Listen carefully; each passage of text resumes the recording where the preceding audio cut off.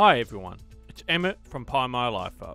In this video, we will be showing you how to install MongoDB on Ubuntu. MongoDB is a document-orientated database. This database allows you to store data in a much more flexible format than relational databases like MySQL and MariaDB. To install MongoDB to Ubuntu, you'll want to open the terminal.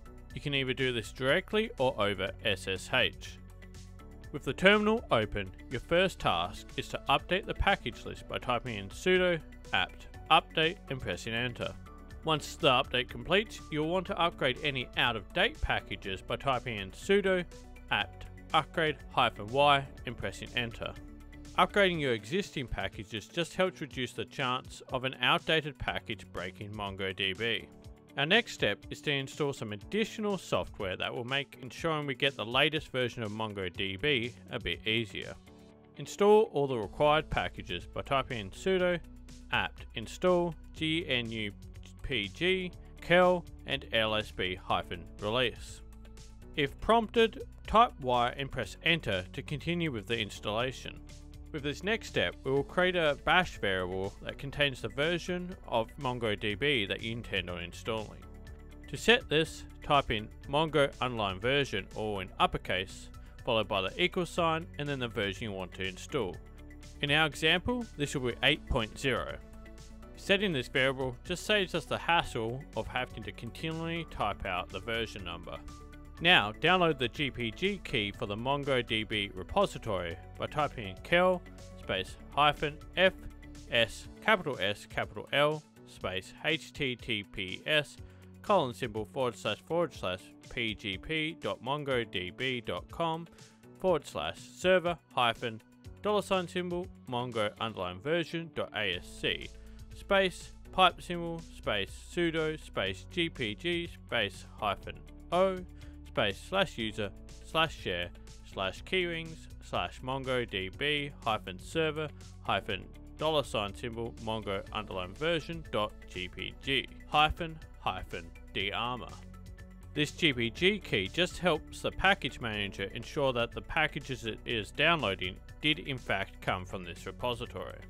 We can now add the MongoDB repository by typing in echo space double quote deb space open square bracket arch equals AMD64 comma ARM64 space signed hyphen by equals slash user slash share slash keyrings slash mongodb hyphen server hyphen dollar sign symbol mongo underline version dot gpg close square bracket space https colon forward slash forward slash repo mongodb.org slash apt slash ubuntu.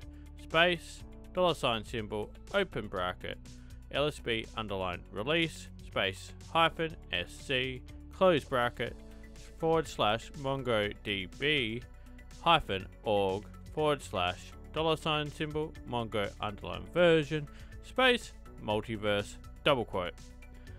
Followed by the pipe symbol then sudo space tee space slash etc slash apt slash sources dot list dot d slash mongodb hyphen org hyphen dollar sign symbol mongo underline version dot list.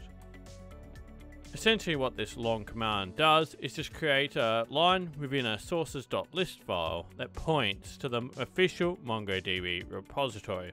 This helps ensure that you will always be downloading the latest available version for that major release of MongoDB. To make the package manager aware that it can now install these new packages, we need to update the package list again by typing in sudo apt update and pressing enter. Once the update completes, all we need to do now to install your chosen version of MongoDB to Ubuntu is type in sudo space apt space install space mongo db-org and pressing enter. If prompted, type Y and press enter to continue with installing MongoDB. Once Ubuntu has finished installing MongoDB, we can now start up its service by typing in sudo systemctl start mongod. We can now verify the service is up and running by typing in sudo space systemctl space status space mongo d.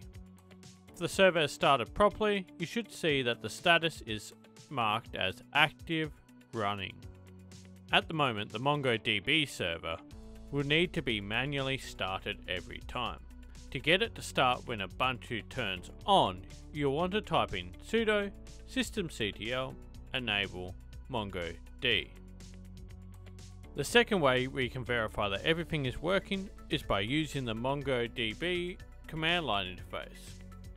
To use this, type in mongo sh space hyphen hyphen eval space single quote db dot run command open bracket open curly bracket space connection capital S status colon symbol space 1 space close curly bracket close bracket followed by a single quote.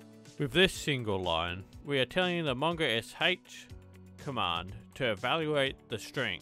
This allows us to run a command without having to run the full command line interface. If everything has worked properly, you should see OK 1 appear within the terminal. This tells you the command line interface was able to successfully connect with your MongoDB server.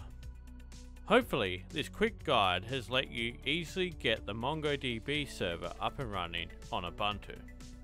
If you like this quick guide, be sure to give us a thumbs up and subscribe. Until next time, have a good one